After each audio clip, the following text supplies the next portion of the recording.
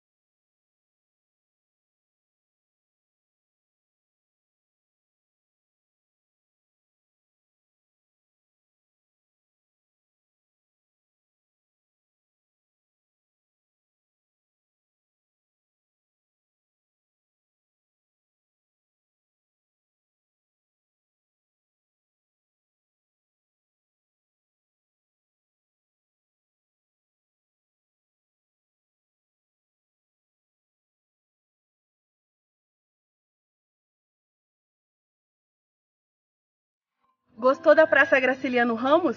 Eu adorei passear por aqui porque tem uns barulhinhos de pássaro que ficam cantarolando enquanto você vai passeando. É tão tranquilo, tão gostoso, tão relaxante. Se você gostou dessa praça, deixa para mim nos comentários a sua opinião, se você gostou, se você tem vontade de conhecer outras praças aqui de Juiz de Fora. E se você se interessou pelo bairro Quintas da Avenida, tem um vídeo aqui no canal que eu vou deixar linkado para vocês aqui embaixo e também no final desse vídeo para que você assista e conheça mais o que, que tem aqui ao redor. Um grande beijo e até o próximo vídeo.